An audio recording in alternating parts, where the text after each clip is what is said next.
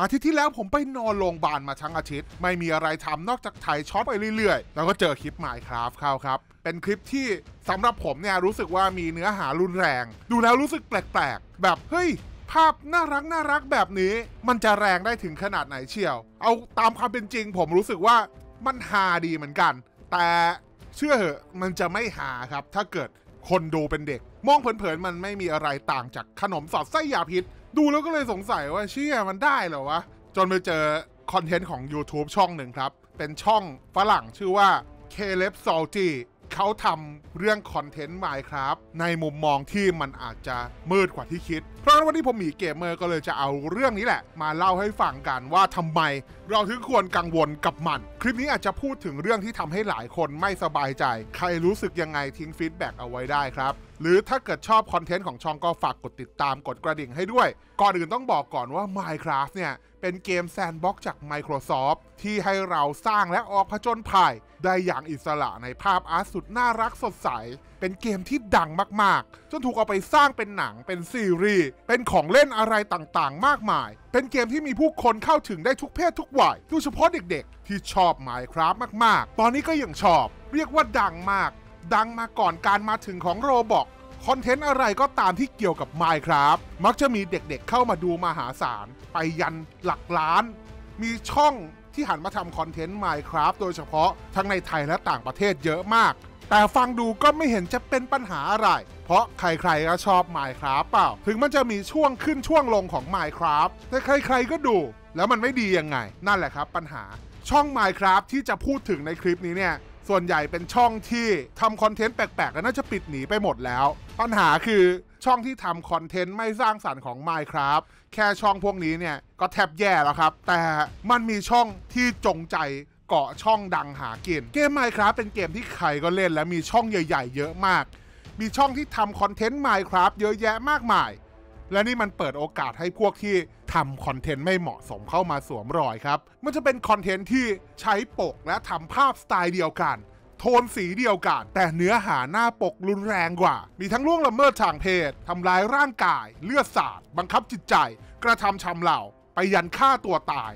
เรื่องแบบที่คนโตๆดูแล้วยังรู้สึกว่าเฮ้ย ได้เหรอวะผมว่าบางคนมีจิตตกนับภาษาอะไรกับเด็ก ๆ ที่ต้องเจอคอนเทนต์แบบนี้โดยคอนเทนต์พวกนี้เนี่ย มันจะทำเป็นตัวปลอม อาจจะเอาชื่อช่องจริง มาผสมนิดหน่อย หรือว่าใช้ character ของช่องต้นฉบับ ถ้านึกไม่ออกลองดูตัวอย่างช่องนี้ครับ ช่องนี้เนี่ยเป็นช่อง Minecraft ที่ทำคอนเทนต์ปกติ ชื่อว่า Aphmau ช่องที่ทำ Minecraft มานานแล้วครับ เนื้อหาก็ดูปกติดีไม่มีอะไร เป็นช่องสำหรับเด็ก ผู้ใหญ่ดูอาจจะ cringe cringe นิดหนึ่ง แต่วันหนึ่งก็มีช่องที่ชื่อใกล้เคียงกันออกมา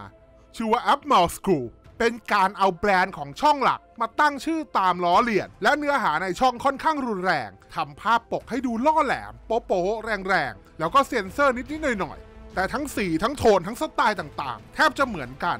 นี่มันไม่ใช่แค่การหลอกคนดู แต่มันหลอกอัลกอริทึมของ YouTube ทำคลิปแบบนี้ขึ้นมา แล้วเวลาเราดูคลิปช่องจริง คลิปพวกนี้เนี่ย ด้วยการใกล้เคียงกันของการตั้งชื่อ keyword และสีและต่างๆ มันก็มีโอกาสที่จะทำให้มันเข้าไปแนะนำต่อกับวิดีโอที่มีเนื้อหาปกติ และเมื่อคนเห็นมันก็มีบ้างแหละ ที่อยากจะกดขนาดผู้ใหญ่ยังอยากรู้เลยว่านี่มันทำคอนเทนต์อะไรวะ แล้วยิ่งลองนึกดูครับว่าถ้าเกิดเป็นเด็ก เป็นเด็กเล็ก ๆ เห็นอะไรแบบนี้มันจะยิ่งอยากดูขนาดไหน มันทำให้ช่องที่หากินกับคอนเทนต์และวิธีสกปรกแบบนี้ เติบโตขึ้นอย่างมหาศาล บางช่องเนี่ยทำรายได้เยอะกว่าช่องที่ก๊อปมาซะอีก แล้วมันไม่ใช่มีการก๊อปแค่ช่องเดียว แต่ช่องไหนทำ Minecraft ก็จะมีอะไรแบบนี้หมด มักจะมีปลิงแบบนี้เข้าไปเกาะเสมอ มันน่ากลัวจริงนะ โอเค ถ้าเกิดคุณเป็นเด็กโตหรือว่าเป็นผู้ใหญ่มันไม่เท่าไหร่หรอก แต่ลองนึกถึงดูเด็กเล็ก ๆ ครับ เด็กที่ดูจะส่งผลต่อสมองขนาดไหนที่นี้เนี่ยยังไม่พูดถึง YouTube Short ที่ร้ายแรงกว่าด้วยซ้ำ YouTube Short เป็นวิดีโอสั้น อาจจะเป็นแพลตฟอร์มอื่นด้วยก็ได้นะครับ มันจะจับคอนเทนต์แนวที่เราสนใจมาให้เราดู ถ้าเกิดเราชอบ Minecraft เราก็จะเจอคอนเทนต์ Minecraft เยอะหน่อย และคลิปพวกนี้แหละครับ มันจะถูกสุ่มขึ้นมาด้วย ถึงไม่อยากดู แต่ในเสี้ยววินาทีที่เห็นต้องมีหยุดดูแป๊บหนึ่งแหละ และถ้าเกิดมันรุนแรงมันก็จะกระตุ้นให้คนอยากดูต่อง่าย ๆ อันนี้เนี่ยจะต่างกับ YouTube นิดหนึ่ง YouTube อาจจะตั้งปกหลอก และให้คนกดเข้าไป แต่ใน YouTube ช็อตหรือวิดีโอสั้นๆ มันจะเอาเนื้อหาหลักมาเพื่อล่อคนดูให้จบ กว่าจะรู้ตัวเด็กๆที่ดูคลิปก็ดูจบแล้ว และรับความรุนแรงไปเต็มๆ และยิ่งเด็กเล็กมากเท่าไหร่ ก็ยิ่งส่งผลต่อการเจริญเติบโตของสมองมากขึ้นเท่านั้น จริงๆ มันไม่ใช่แค่หมายครับนะครับ เรื่องนี้เนี่ยเคยเกิดขึ้นมาแล้วในปี 2017 ตอนที่เอลซ่าแอนิเมชัน Frozen ดังมากๆ มีหลายๆช่องทำแบบนี้และเกาะเอลซ่าหากิน เอาชื่อเอลซ่ามาทำคอนเทนต์รุนแรงเอาชื่อเอลซ่า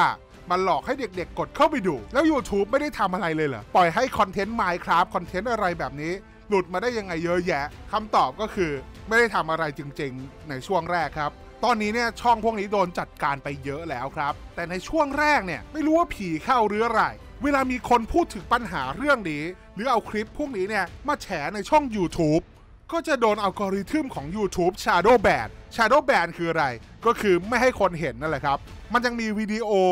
YouTube อยู่ แต่จะไม่ขึ้นแนะนำหรือว่าหาเจอยากหน่อย แค่นั้นยังไม่พอครับ บางช่องเนี่ย โดนประเมินว่าเป็นคลิปที่ไม่เหมาะสมด้วย ก็เลยมีคนวิเคราะห์กันไปต่างๆ นานาครับ ว่า YouTube เนี่ยน่าจะรู้อยู่แล้วแหละว่ามีคลิปแบบนี้อยู่ แต่ที่ไม่ทำอะไร เพราะคลิปพวกนี้เนี่ยยอดวิวและรายได้ มันได้แบบช่ำๆ ซึ่งเอาจริงๆ ผมไม่คิดว่าเป็นแบบนั้นนะครับ ผมว่าองค์กรใหญ่มันขยับตัวนานนิดนึง ส่วนเรื่องของเอลซ่าเนี่ย มันดังมากจนผู้ปกครองหลายๆ เริ่มรู้ตัว และเริ่มหันมาพูดถึงกัน หลังจากนั้นไม่นานเนี่ยทำให้มีสำนักข่าวหลายช่องในอเมริกา ตีแผ่เรื่องนี้ YouTube โดนกดดันจากสปอนเซอร์รายใหญ่หลายๆราย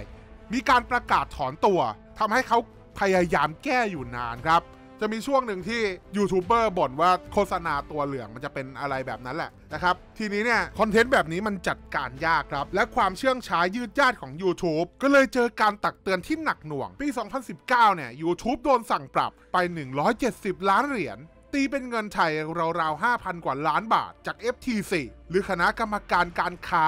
ของอเมริกาที่ทำหน้าที่ตรวจสอบเรื่องการโฆษณา และดูแลเรื่องการหลอกลวงผู้บริโภค เรื่องคอนเทนต์อย่างเอลซ่าหรือพวกคลิปรุนแรงที่แฝงมากับสิ่งที่เด็กๆชอบ เหมือน YouTube โดนตบหน้าฉาดใหญ่ เท่านั้นแหละครับ ตื่นเลยนำมาสู่การอัปเดตระบบใหม่ๆ คัดกรองเนื้อหาให้เข้มขึ้น และไล่แบนช่องที่มีความรุนแรงแบบนี้ เรียกว่าแบนเพียบ ยังกระทานอตดีดนิ้ว ปรับให้ช่องสำหรับเด็กลดการโฆษณาและหารายได้ และนั่นแหละครับ เป็นยุคที่ YouTube เข้มมาก เข้มอย่างเดียวไม่พอ เข้มมัวด้วย ไล่แปะป้ายเหลืองให้ปรับปรุงเนื้อหาแทบจะทุกคลิป ไม่แก้โดนแบนกว่าจะทำเนื้อหาออกมาได้เนี่ย แก้แล้วแก้อีก แก้จนคนทำคลิปกรี๊ดอะหลังจากที่สั่งขยานาปรับปรุงครั้งใหญ่ผ่านไป ถามว่าแก้ได้ไหมมันก็ได้แหละ แต่มีข้อสังเกตครับว่าถ้ารูปปกและสีสันของคลิปมันดูสดใส อัลกอริทึมก็จะแนะนำให้เข้าไปอยู่ใน YouTube คิดอยู่ดี จะว่ายังไงดีครับ YouTube คงพยายามระดับหนึ่งแหละ แต่คนตั้งใจทำเรื่องไม่ดี ยังไงมันก็หาช่องทำจนได้ ตัดไปก็เกิดช่องใหม่ ช่องพวกนี้เนี่ยผุดขึ้นมายิ่งกว่าดอกเห็ดครับ เพอเพอแป๊บเดียวมีคนทำอีกแล้ว ไม่ทำกับ Minecraft ก็ไปทำกับแอนิเมชันดังๆ เอามาทำปกยั่วๆ เรียกยอดวิว หากินกับการโฆษณา ก๊อป character เขามา สร้างคอนเทนต์หลอกให้เด็กดู ยิ่งสมัยนี้มี AI สร้างแอนิเมชันมาแล้วเนี่ย เสียงพากย์ยังคล้ายจริงอีก มันเลยง่ายต่อการทำคลิปขยะขยะที่ทำส่งๆ แต่เต็มไปด้วยความรุนแรง คลิปแบบนี้มีเยอะ แล้วเรื่องนี้มันน่ากลัวยังไง มีตัวอย่างหนึ่งในปี 2024 ครับ ช่อง YouTube ที่ชื่อว่าเนลี่แต่ไม่ต้องไปยึดติดกับชื่อนี้ เพราะว่ามันก๊อปหลายช่องทำคอนเทนต์ Minecraft แล้วก็ทำคอนเทนต์ปลอมจากตัวละคร อนิเมชันชื่อดังบน YouTube สำหรับเด็ก แล้วก็มียอดวิวหลายล้าน มันเอา character พวกนั้นเนี่ย มาใช้ AI ทำคลิปแบบ 18 บวก สิ่งที่น่ากลัว คือมีลิงก์ direct message ไปหาตัวเจ้าของช่องใน Telegram ไม่รู้ว่ามันทำไปทำไมคือทำคอนเทนต์ 18 บวก แต่ใช้ character เด็กแล้วก็มีให้ message จนยูทูบเบอร์คนอื่นออกมาแฉแล้วเจ้าตัวก็เปลี่ยนลิงก์หนีไป ลองคิดดูครับว่าถ้าเกิดไม่มีคนแฉอาจจะมีอะไรอย่างอื่นเกิดขึ้นก็ได้ จริง ๆ ยูทูบเบอร์ไทยก็ทำเนื้อหา Minecraft เยอะและที่มีรุนแรงก็เยอะครับ และเขาไม่ได้ผิดอะไร มันเป็นคอนเทนต์ประเภทหนึ่งที่ลงให้คนดู แต่บอกไว้เลยครับว่าไม่จำเป็นว่าต้องเป็น Minecraft แล้วจะเป็นคอนเทนต์สำหรับเด็กเสมอไป Minecraft เนี่ยมีผู้ใหญ่ดูเหมือนกัน แต่ปัญหาของเรื่องนี้คือพอมันเป็น Minecraft พอทำโทนสีที่มันฉูดฉาด มันก็มีโอกาสเข้าไปอยู่ใน YouTube Kids หลายๆคนอาจจะบอก เฮ้ย ไม่หรอกช่องของเราเนี่ย ผู้ใหญ่ดู เพราะว่า YouTube เนี่ยมันดูสถิติได้ใช่ไหมครับ อย่างที่ผมบอกตอนแรก ช่องที่ผมเจอใน Shorts เนี่ย ผมเข้าไปอ่านคอมเมนต์เลยว่ามีคนคิดแบบเดียวกับผมหรือเปล่า มีคนมาถามครับว่า เฮ้ยทำคอนเทนต์แบบนี้ให้เด็กดูได้เหรอ เจ้าของช่องจะมาตอบว่า demographic ของช่องเขาเนี่ย คนที่อายุ 17ถึง24 ดู แต่อยากให้นึกถึงความเป็นไปได้ครับ ว่าผู้ใหญ่อายุขนาดนี้ดูคอนเทนต์แบบนี้ประมาณเท่าไหร่ ยังไม่รวมว่าเด็กเล็กๆ ที่เอาโทรศัพท์มือถือของพ่อแม่ไปดูอีก และยิ่งเด็กเล็กมากๆ เนี่ย อาจจะไม่ได้มีแท็บเล็ตเป็นของตัวเองด้วยซ้ำบางทีแค่อ่านคอมเมนต์ก็รู้แล้วครับ ว่าไม่ใช่เจ้าของ ID และนี่ก็เป็นอีกเรื่องที่น่ากังวล เนื่องจากเด็กๆ สามารถเข้าถึงคอนเทนต์ผู้ใหญ่ ผ่านไอดีของผู้ใหญ่ได้ ไม่ใช่แค่เรื่องของเกมแต่หมายถึงถึงทุกเรื่อง และผมว่าคนทำคอนเทนต์รู้ดีอยู่แล้วแหละว่ามีเด็กเข้ามาดู อย่าหลอกตัวเองเลยครับ ไม่มีทางที่สถิติใน YouTube มันจะตรงร้อยเปอร์เซ็นต์แต่ประมาณนี้แหละครับ เอามาเล่าให้ฟังกับด้านมืดของ Minecraft ที่จริงต้องบอกว่าเป็นภัยที่แฝงมากับการดูคลิปเกม และคลิปแอนิเมชันน่ารักน่ารักในแพลตฟอร์มออนไลน์ ที่คอนเทนต์ 18 บวก มันเข้าถึงเด็กได้ง่ายกว่าที่คิด ไอสิ่งที่เราคิดว่าปลอดภัย จริง ๆ มันอาจจะเหมือนแค่ปลอดภัย วิธีแก้ผมก็ไม่รู้จะทำไงเหมือนกันครับ มันเป็นไปไม่ได้เลย ที่แพลตฟอร์มคนทำคอนเทนต์หรือพ่อแม่ผู้ปกครอง จะดูแลเด็กได้แบบร้อยเปอร์เซ็นต์ทุกอย่างมันมีช่องโหว่อยู่เสมอครับ และจะให้ลบแอปทิ้งไปเลย น่าจะยาก เพราะงั้นก็คืออยากให้ดูแลเด็กๆให้ดีครับ ผมรู้ครับว่าทุกคนเนี่ยดูสื่อ 18 บวกอยู่แล้วแหละ แต่ว่ากับเด็กเล็ก ๆ มันไม่เหมือนกันครับ เด็กเล็ก ๆ ยิ่งปล่อยให้ดูคลิปที่แฝงความรุนแรงเอาไว้เนี่ย โตมาจะกลายเป็นเด็กที่มีปัญหาทางจิต หรือปัญหาทางอารมณ์ได้ แล้วเอาเป็นว่าคุณคิดยังไงกับเรื่องนี้ครับ คิดเห็นยังไงลองคอมเมนต์คุยกันได้สำหรับวันนี้ผมมีเกมเมอร์ขอตัวไปก่อน ไปแล้ว สวัสดีครับ